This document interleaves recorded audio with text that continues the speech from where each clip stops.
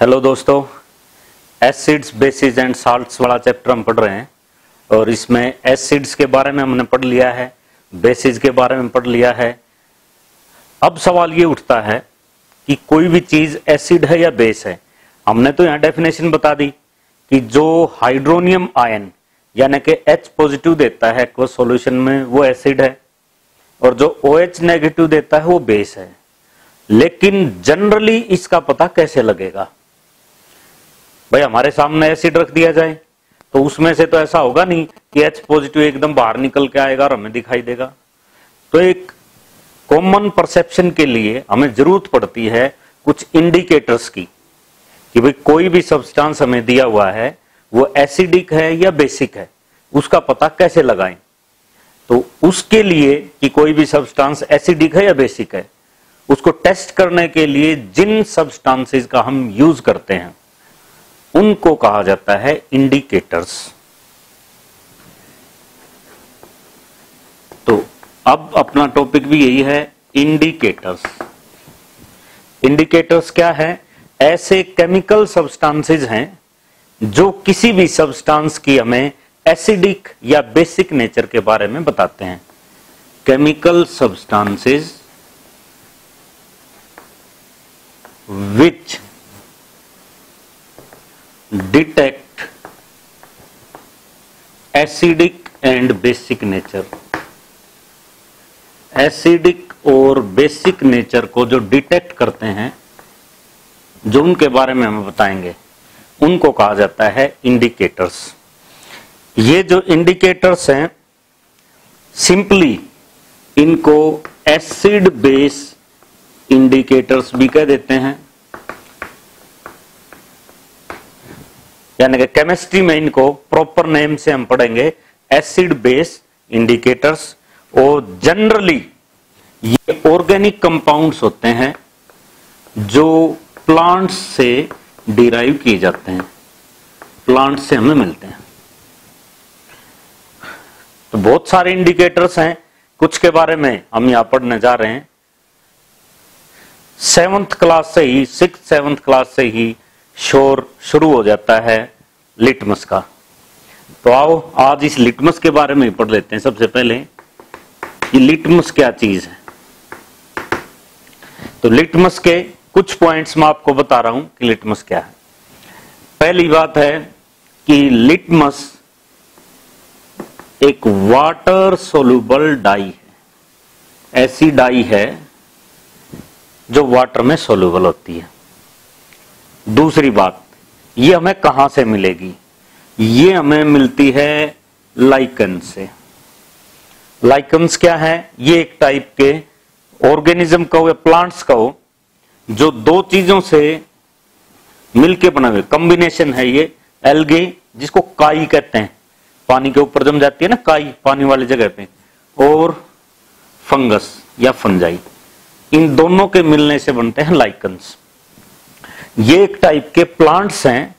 Plants की एक category होती है थैलोफाइटा उस थैलोफाइटा कैटेगरी के अंदर आते हैं लाइकन्स तो इस लाइकन से डिराइव किया जाता है लिटमस और ये लिटमस क्या है? एक वाटर सोल्यूबल डाई है। अब देखते हैं इसका कलर कैसा है। हम तो ये सुनते आ रहे हैं कि एसिड है तो ब्लू लिटमस को रेड कर देता है। बेस है तो रेड को ब्लू तो ये तो कलर चेंज करने की बात है। कोई अगर हमसे पूछ ले, भाई लिटमस का खुद का कलर क्या है? तो आपने याद रखना है कि लिटमस जो है, इसका कलर होता है पर्पल बैंगनी जो कलर है पर्पल इन कलर आपसे इसकी नेचर पूछे कि, भाई लिटमस ये रेड ब्लू तो होता है लेकिन खुद इसकी नेचर क्या है? ये एसिडिक है या बेसिक है? तो आपको याद रखना है, खुद जो लिटमस है इट इज़ ना एसिडिक है, ना बेसिक है। ये कैसा है? न्यूट्रल है। एज सच लिटमस आपको रेड या ब्लू की फॉर्म में नहीं मिलेगा। वो आपको वैसा बनाना पड़ता है। जब आप कोई भी टेस्ट कर रहे हो कि भाई हमें एसिड टेस्ट करना है या बेस टेस्ट करना है।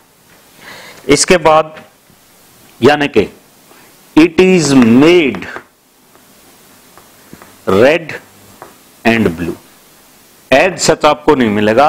यह हमें रेड या ब्लू क्या होता है? बनाना पड़ता है लिटमस अब खुद क्या होगा ये? पर्पल तो तीन टाइप से आपसे बातें यहाँ पूछ सकते हैं। पहले ये पूछ लेंगे, भाई न्यूट्रल मीडियम है तो ये कैसा होगा? एसिडिक में कैसा होगा? और बेसिक में कैसा होगा? तो न्यूट्रल मीडियम है न्यूट्रल मींस ना एसिडिक है ना बेसिक है। तो इसका अपना ही कल, कलर रहेगा जो इसका है। यानी कि इसका कलर रहेगा पर्पल न्यूट्रल मीडियम में। अगर आप इसको डाल देते हो। अगर आप इसको डाल देते हो एसिडिक मीडियम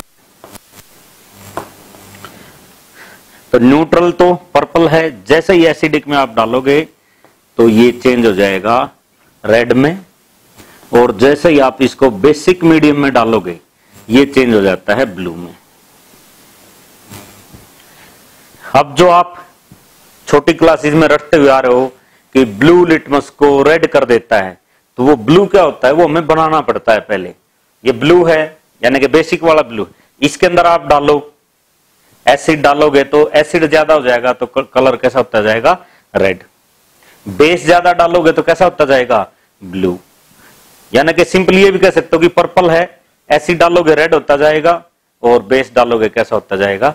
ब्लू होता जाएगा। ये पहला इंडिकेटर है लिटमस, जो हमें बताता है कि कोई भी चीज़ एसिडिक है या बेसिक है। दूसरा इंडिकेटर है, जो यूज़ करते हैं हम, वो है फिनोफ्थलीन।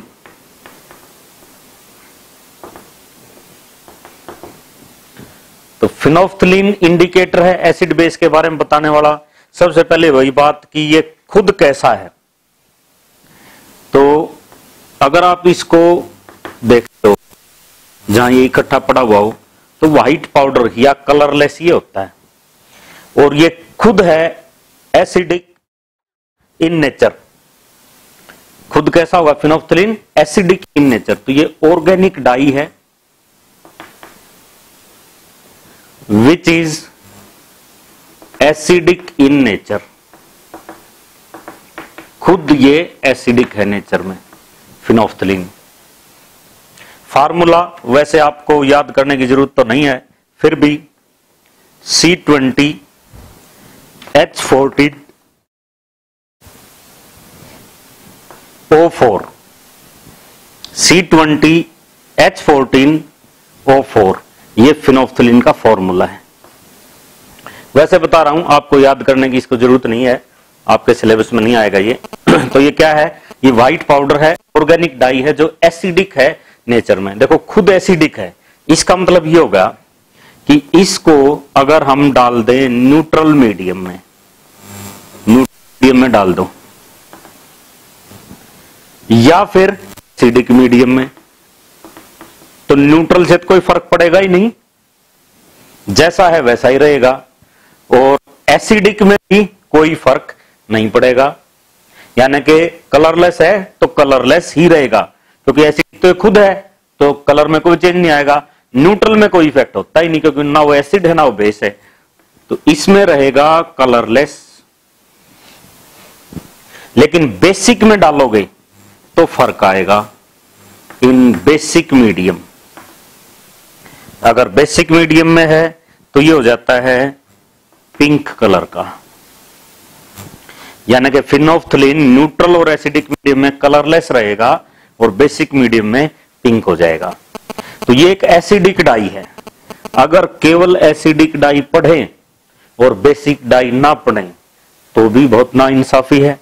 तो बेसिक डाई भी पढ़ लेते हैं। बेसिक डाई है मिथाइल ऑरेंज मिथाइल ऑरेंज एक बेसिक डाई है, यानी कि खुद ये बेसिक है।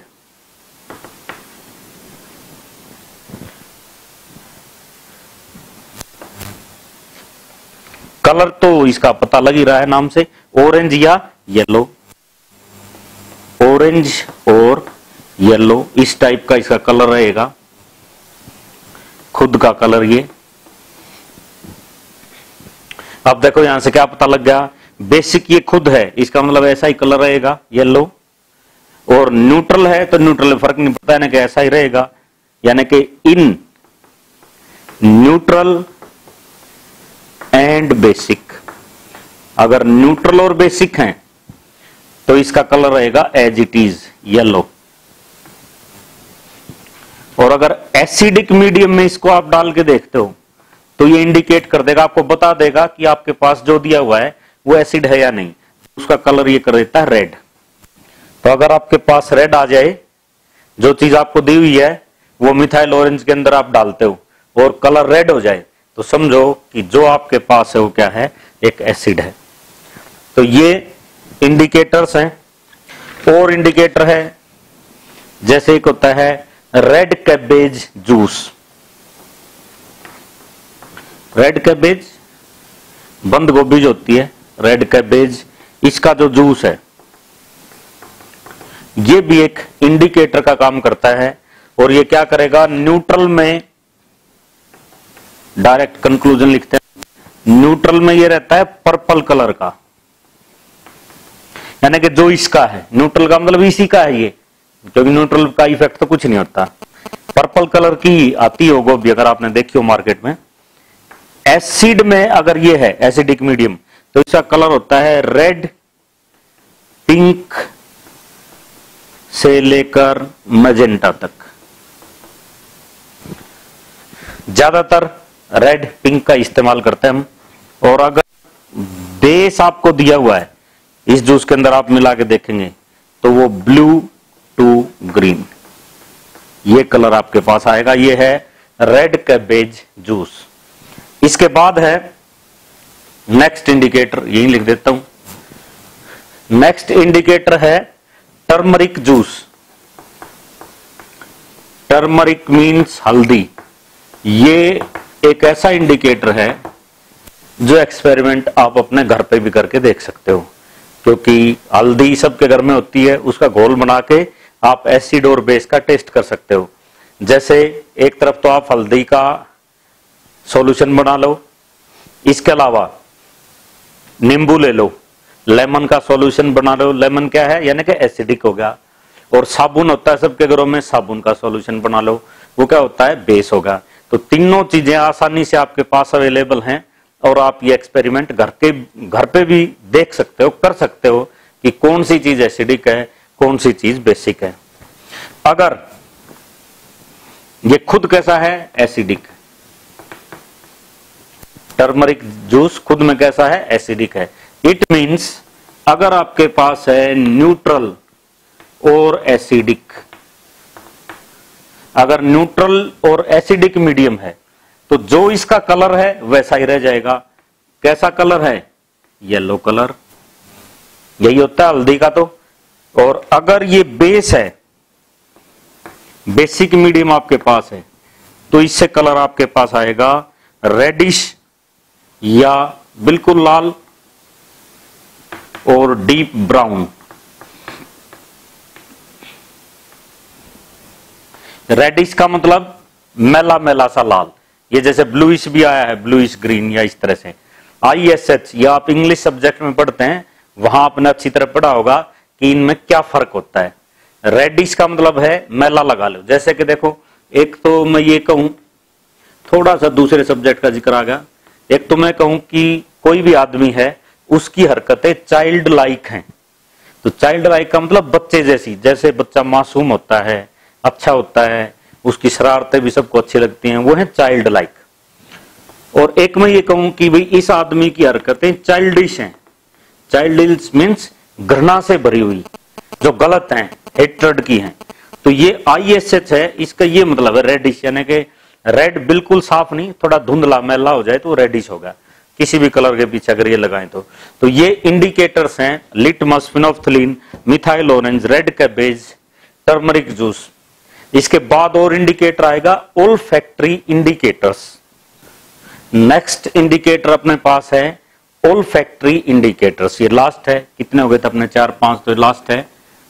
Olfactory indicators olfactory word का मतलब होता है स्मेल गंध, यानी कि ओडर तो कुछ सब्सटेंसेस ऐसे होते हैं जो जिनके अलग अलग ऑर्डर्स होते हैं अलग अलग गंध होती है एसिडिक और बेसिक मीडियम में. यानी कि ऐसे indicators indicators giving different odours जिनमें अलग अलग स्मेल आती है। In acidic and basic medium जिनका एसिडिक और बेसिक मीडियम में अलग अलग गंध होती है ऑर्डर्स होती है। जैसे कि कुछ नेचुरली अकरिंग है, उनका एग्जांपल हम ले रहे हैं। जैसे ओनियन है। ओनियन को क्या करो? प्याज जो है, इसको आप कोई कपड़ा लो, उसके ऊपर अच्छी तरह रगड़ लो कि प्याज की गंध आए इस टाइप से। यानी कि ओनियन है, इसको हमने क्या किया? क्लोथ के ऊपर स्ट्रिप टाइप बना ली, छोटा कपड़ा लिया, उसके ऊपर रगड़ लिया।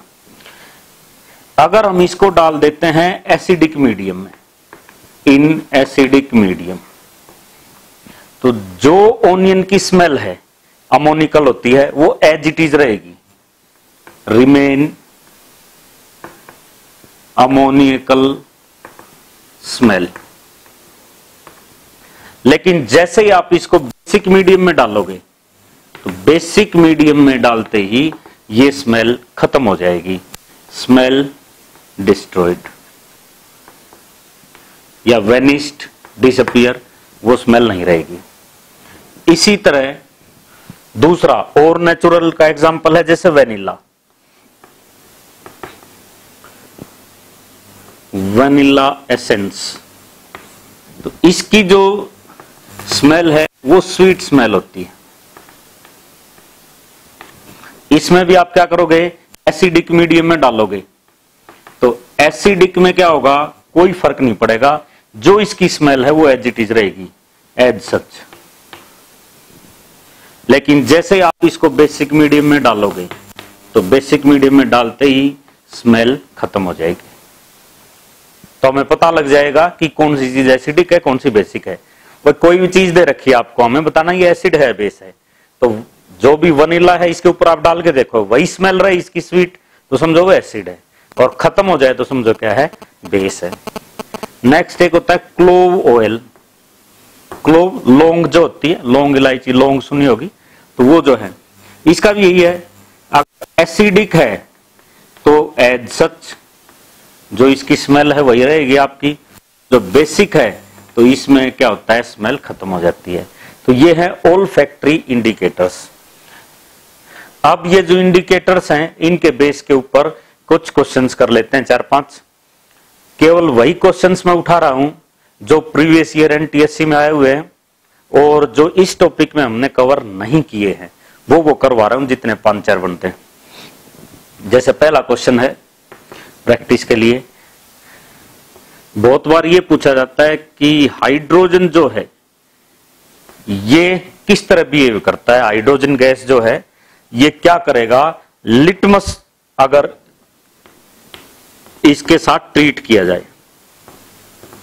हाइड्रोजन टुवर्ड्स लिटमस तो हाइड्रोजन याद रखना है, जैसे आप लिटमस से रिएक्ट करवाओगे तो इसका करेक्टर रहेगा न्यूट्रल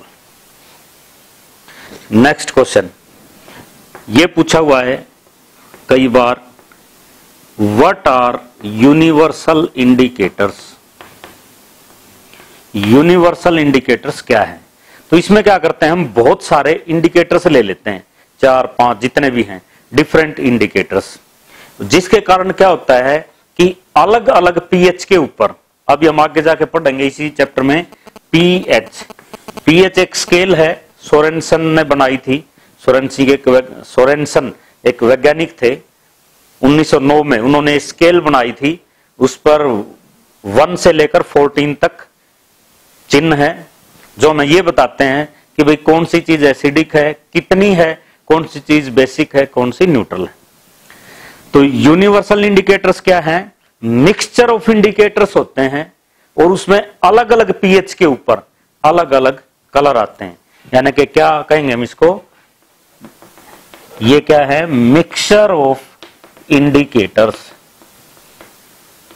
इंडिकेटर्स के मिक्सर होते हैं यूनिवर्सल इंडिकेटर्स और डिफरेंट कलर आएँगे इनके डिफरेंट पीएच के ऊपर. Different colours at different pH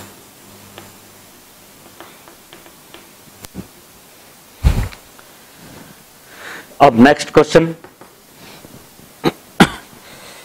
अब पूरा क्वेश्चन मैं पढ़ कर नहीं बता रहा हूँ, आपको मैं बता देता हूँ, इसमें क्या पूछा हुआ है और हम उसको कैसे समझेंगे। ये कह रहा है कि आपके पास कंसंट्रेटेड एक्वस सॉल्यूशन है NaCl का। हमारे पास क्या है? कंसंट्रेटेड सॉल्यूशन है NaCl का एक्वस का। इसमें से ये कह रहा है कि इलेक्ट्रिसिटी पास कर दी हमने। इलेक्ट्रिसिटी पास की एक्वस सॉल्यूशन बनाया किसका? NaCl का। इसके बाद क्या किया? इस सॉल्यूशन को टू इक्वल पार्ट्स में डिवाइड कर दिया। दो पार्ट बना लिए। जैसे ये देखो, दो बर्तन थे ये। एक आधा इसमें आधा इसमें, इसके दो पार्ट बना दिए। यह पहला, यह दूसरा, इस तरह से। एक पार्ट में डाला फिनोफ्थलीन यहाँ फिर से बना देता हूँ इसको। दो पार्ट इसने बनाए भाई एक्वस एनएसीएल सॉल्यूशन लिया, दो पार्ट बना लिए। ये है पार्ट वन और ये है पार्ट टू क्या कह रहा है कि पार्ट वन में फिनोफ्थलीन डाला? इसमें फिनोफ्थलीन डाल दिया। और पार्ट टू के अंदर मिथाइल ऑरेंज डाल दिया। अब ये पूछ रहा है कि इनका कैसा कलर आएगा। तो कलर जानने के लिए ज़रूरी है कि हमें ये पता हो कि ये एसिड है या बेस है। उसके लिए एक बार ऊपर फिर चलते हैं क्वेश्चन के पास। एक्वस सॉल्यूशन है एनएसीएल का। कर लो इस रिएक्शन का पोस्टमार्टम NaCl और क्या है? H2O यानी कि यहाँ से सॉल्यूशन अपना बनने वाला है NaOH का। मेन ये बनेगा। NaOH क्या है? बेस इट मींस इसके अंदर भी बेस है और इसके अंदर भी बेस है। तो अब आपका क्वेश्चन बिल्कुल सिंपल होगा ये पूछ रहा है कि फिनोफ्थलीन बेस के साथ कैसा कलर देता है और मिथाइल ऑरेंज कैसा देता है। तो आई थिंक ये आपको पहले से याद होगा कि ये तो पिंक देता है। और ये खुद बेसिक डाई था। इसमें कोई फ़र्क नहीं पड़ेगा। येलो यानी कि ऑरेंज टू येलो ये कलर देता है। ये एसिडिक डाई था। ये एसिड में एज इट इज़ रहता था, यानी कलरलेस न्यूट्रल में भी कलरलेस और बेस में कैसा था? पिंक और क्वेश्चन करते हैं एक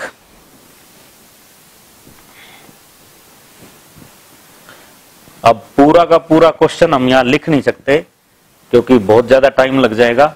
इसलिए आपको ध्यान से सुन लेना है और फिर हम उसको सोल्व करेंगे।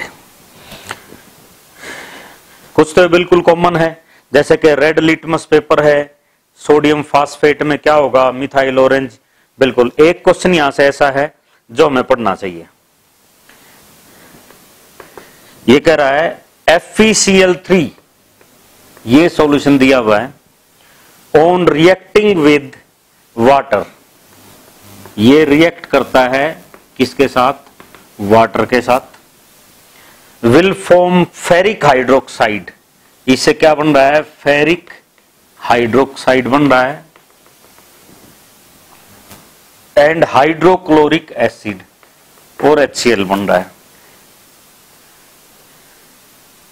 तो हमने ये बताना है कि कलर ऑफ़ लिटमस का क्या होगा? देखो अब क्या हुआ। रिएक्शन लिख के देखनी पड़ेगी, उससे क्लियर होंगी सारी बातें। F E C L three है अपने पास।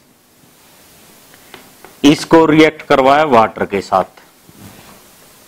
तो इससे बनता है ferric hydroxide F E O H whole thrice तीन है वैलेंसी क्योंकि फेरिक दिया हुआ है। फेरस होता तो वैलेंसी टू होती। फेरिक की थ्री है। इक ज़्यादा के लिए आता है। लास्ट में जब इक हो, इसका मतलब ज़्यादा वैलेंसी है। और लास्ट में अस हो तो इसका मतलब कम वैलेंसी है। फेरस यानी कम वैलेंसी है। फेरिक ज़्यादा है। क्यूप्रस यानी कि कम। कम के लिए ये है। फेरस या क्यूप्रस और ज़्यादा के लिए ये है इक जैसे H2SO3 सल्फ्यूरस H2SO4 सल्फ्यूरिक तो ये ऐसे ही, ये मतलब नेमिंग के लिए ये नोमेन है। आगे आप हायर क्लास क्लासेज में इसको पढ़ेंगे। तो ये रिएक्शन अपने पास आ गई। एफ़ थ्री बैलेंस करेंगे थ्री एच टू आएगा, ये थ्री एच सी एल आएगा। अब देखो यहाँ दिक्कत क्या होगी अपने पास। एक तो क्या आ गया बेस और एच वाला क्या आ गया? एसिड और हमसे प्रश्न ये पूछ लिया इसने कि भाई बताओ लिटमस का कैसा कलर आएगा? तो एसिड तो ब्लू लिटमस को रेड करते हैं और बेस रेड लिटमस को ब्लू करते हैं। अब ये देखना है कि क्या होगा, क्योंकि दोनों हो गए। तो जब दोनों हो जाएँ तो ये देखना पड़ता है पॉइंट टू बी नोटेड ये देखना पड़ता है कि इनमें स्टोन कौन है, जो ज़्यादा ताकतवर होगा, उसी के अनुसार हमें चलना पड़ेगा।